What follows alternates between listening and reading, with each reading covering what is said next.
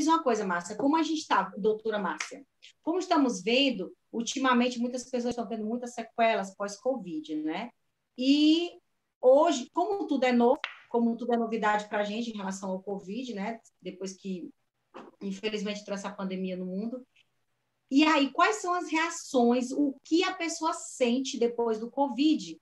E com você, como nutricionista, o que você indica para essas pessoas que estão tendo essas sequelas que, se não cuidar, né, pode provocar algo que, que a pessoa sinta para o resto da vida. Fique à vontade, doutora Márcia.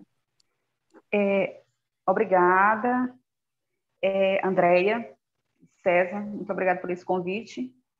É, é, muito bom termos conhecimento sobre saúde. Quanto mais termos, mais, melhor a gente trabalha nosso corpo, trata o nosso pensamento e coloca em ação nossos conhecimentos. É, aqui no meu, no meu consultório, falar rapidinho, eu não passo dieta sem exames.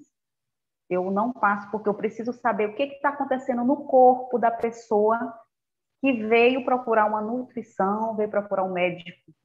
Ele veio porque algo está desorganizado dentro do organismo.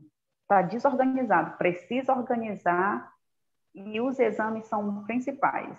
As sequelas é como a maioria dos, exam, do, dos estudos estão dizendo, que o vírus, coloquei até uma colinha aqui, o vírus, ele não mata, o que mata é o teu sistema imunológico. A, o sistema imunológico é a resposta. O, como você está se nutrindo? Como é que teu corpo vai responder a um vírus? Muitos estudos até hoje da Inglaterra, Estados Unidos, muitos estudos da Europa disseram que não é o vírus que mata, é como você está cuidando do seu corpo para ter essa resposta ao vírus. E nós temos a honra de trabalhar e conhecer os melhores produtos hoje oferecidos pelo mercado, porque não vai tratar só uma coisa.